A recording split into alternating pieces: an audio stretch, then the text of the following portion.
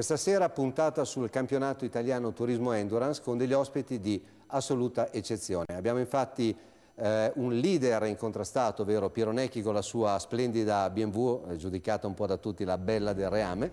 Dopodiché abbiamo Luca Trevisiol con eh, campione nella Seat Leon Supercoppa e ora corre con la Logran, sempre Seat.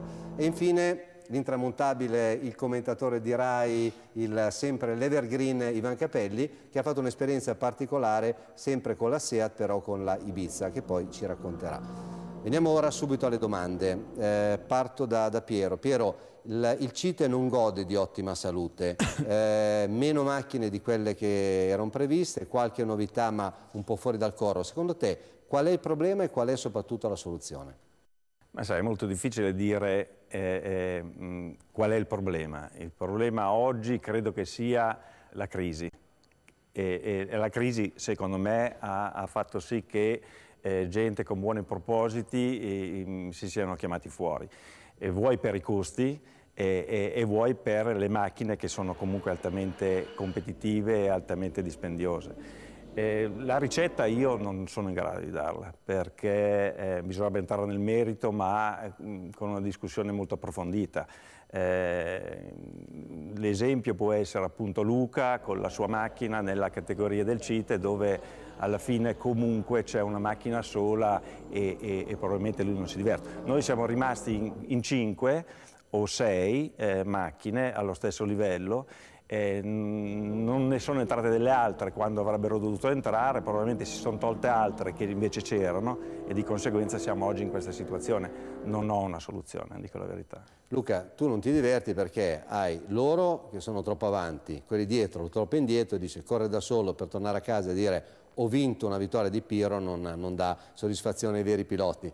Sì, è vero, questo è quello che in realtà è già successo un po' l'anno scorso, ma l'anno scorso era per noi comunque un anno, eh, pensavamo di, di, di, di, sviluppo eh, per avere poi quest'anno il campionato giusto. Ciò non è successo nemmeno quest'anno eh, e quindi ci dispiace molto perché in realtà avevamo preparato una, la SEAT, aveva preparato una gran bella macchina che è questa evoluzione della SEAT Leon Supercoppa che si chiama Long Run eh, che, eh, che, era il tuo cruce l'anno prima, dove dovevi spiegare che era uguale a quella di Colciago, però per motivi colori, regolamentari bravo, andava meno. No, in realtà noi abbiamo perfezionato ancora, era già molto, molto performante già la macchina l'anno scorso, quest'anno l'abbiamo veramente eh, creato una bella macchina e eh, con le possibilità di diventare un ottimo prodotto perché è una macchina adatta alla maggior parte dei piloti, ha un costo assolutamente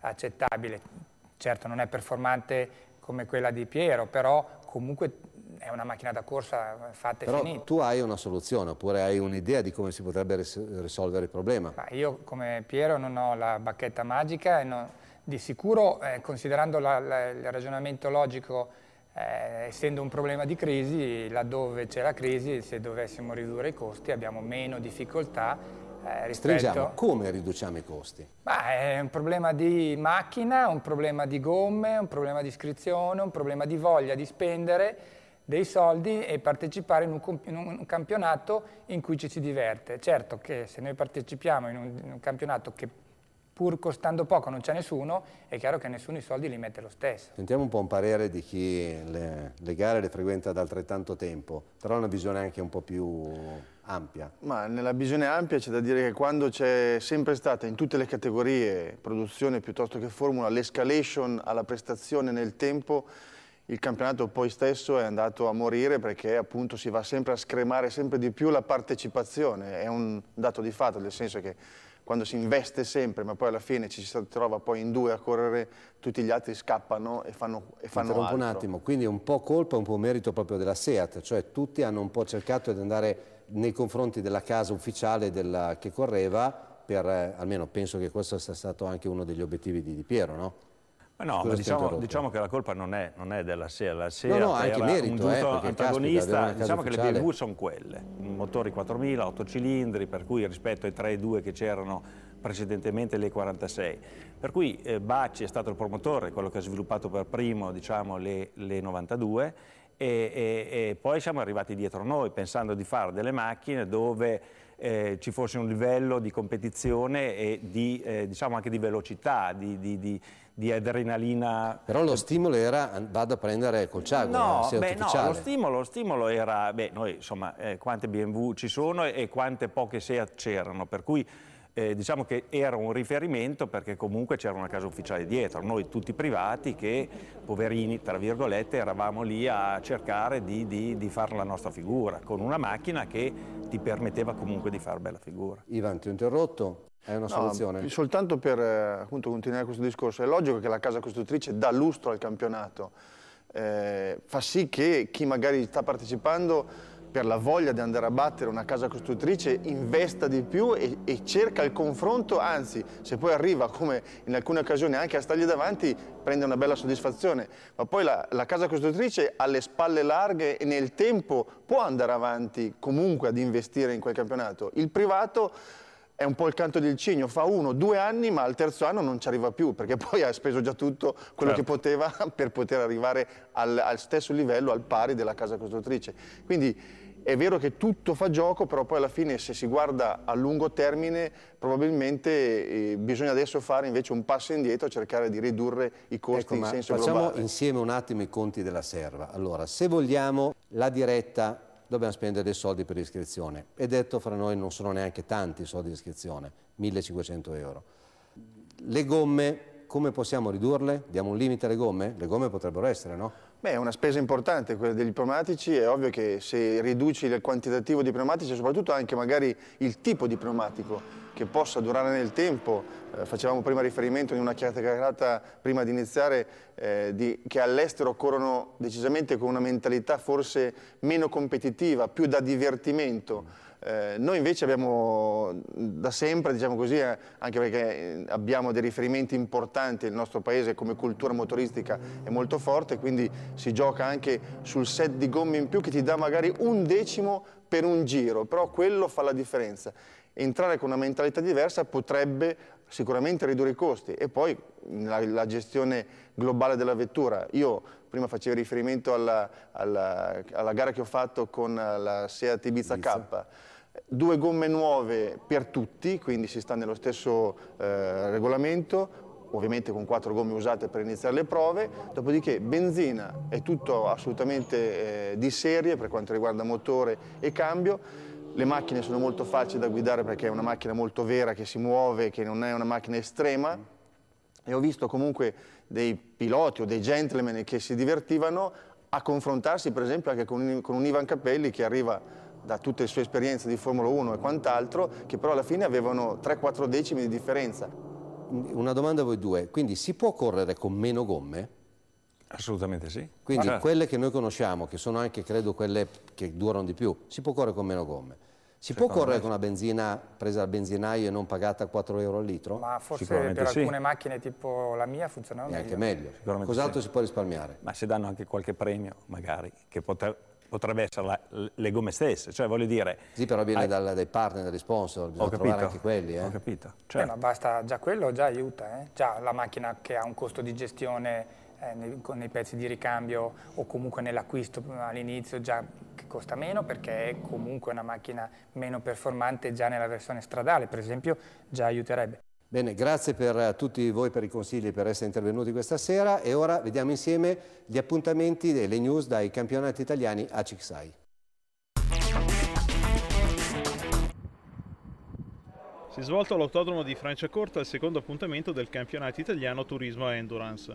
Doppia vittoria per Piero Necchi, che ha portato in testa la classifica di gara e di campionato la performante BMW M3 E92 curata dalla N Racing Dopo essersi imposto sul bagnato di gara 1, il pilota alessandrino è riuscito a salire sul gradino più alto del podio anche sulla pista asciutta di gara 2, grazie alla rimonta dopo l'entrata dalla safety car a metà gara. Due volte sul podio anche il toscano Andrea Bassi al volante di un'altra BMW M3 E92, terzo sotto la pioggia dopo aver rischiato di compromettere la gara con un'escursione fuori pista, mentre in gara 2 il fiorentino della scuderia Etruria ha concluso al secondo posto, dovendo cedere la leadership in vista del traguardo allo scatenato Necchi, Secondo in gara 1 il sammarinese, campione in carica Paolo Meloni, ha poi concluso in terza posizione la sofferta gara 2. Passando in divisione Super 2000 con due ottavi posti nell'assoluta, Mariano Bellin su BMW 320i ha conquistato una vittoria e un secondo posto, portandosi così in testa alla classifica di campionato davanti a Fabrizio Montali, che dopo i problemi elettrici in gara 1 ha condotto una strepitosa gara 2 al volante dell'Audi A4, con la quale ha vinto la divisione piazzandosi al settimo posto assoluto.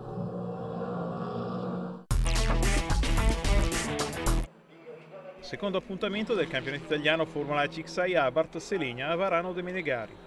La prima gara è segnata dal giovane pilota elvetico della Jensen Motorsport Patrick Niederhauser che domina in lungo e in largo. Niederhauser partito in pole position non si lascia impensierire dallo spagnolo Gerard Barabeig e scatta con un tempismo perfetto riuscendo subito ad allungare dopo poche tornate. Il resto della gara è solo da controllare per il pilota svizzero che ottiene il suo secondo scratch stagionale conquistando pole position, vittoria in gara 1 e giro più veloce.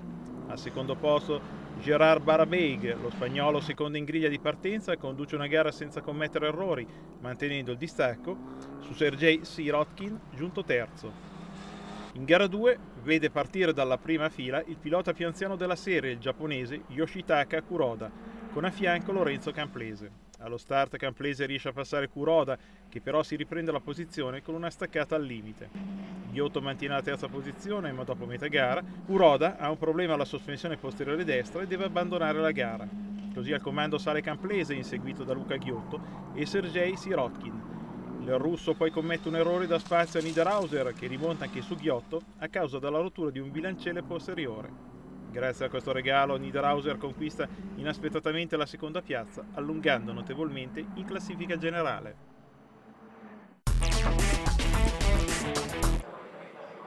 Sempre a Varano dei Melegari si è corsa la seconda sfida stagionale del campionato italiano prototipi. Vittoria per Fabio Francia rientro nella categoria con un Osella, seguita direttamente dal suo costruttore Enzo Osella. Il milanese ex campione italiano della specialità, dopo aver segnato la pole position, parte al comando e non ha più avversari fino alla bandiera scacchi. Alle sue spalle grande bagarre invece tra i soliti duellanti, Bella Rosa e Uboldi, con il secondo posto finale del campione italiano in carica Bella Rosa alla guida della Wolf Honda, mentre Uboldi ha concluso molto staccato per problemi ai freni alla sua norma. A chiudere il podio sale Marco Falci alla guida di una Ligier JS 51 curata dalla Nani Racing, quarta piazza per Vatte Margelli con la Lucchini e quinto Marco Maria Visconti. Conclude al sesto posto Claudio Francisci che grazie a una serata rimonta si aggiudica la categoria CN4 con una Lucchini motorizzata BMW. Seconda tappa del campionato italiano velocità montagna in provincia di Trapani per la salita al Monte Erice, condizionata però dal maltempo. Velocissimo nella prima manche mattutina Simone Fagioli affronta la seconda dopo un acquazzone, ma riesce lo stesso ad essere il più rapido del gruppo. Fagioli si aggiudica così per la quarta volta in carriera la gara siciliana, entrando prepotentemente nella corsa al titolo. Alle sue spalle Franco Cinelli con una Lola di Formula 3 litri. Terzo a completare un podio tutto toscano si piazza Fabrizio Pandolfi con un Alfa 155 V6 che conclude un fine settimana che lo ha visto protagonista assoluto anche in classe gruppo E1. Dietro di lui Fulvio Giuliani, della stessa classe, secondo con una lancia Delta Evo, staccato di soli 7 decimi. Al terzo posto Roberto Di Giuseppe, con problemi di elettronica all'Alfa 155 GTA. Il bolzanino Rudy Bicciato, gran primo di gruppo A con una Mitsubishi Lancer che batte di ben 16 secondi, Sandro Acunzo, anch'egli con un integrale giapponese. Vincitore della gara tra le vetture di classe Gran Turismo il pescarese Roberto Chiavaroli con la Ferrari 430 dopo aver duellato con Francesco Batte a proprio agio con l'agilità della sua Lotus 211.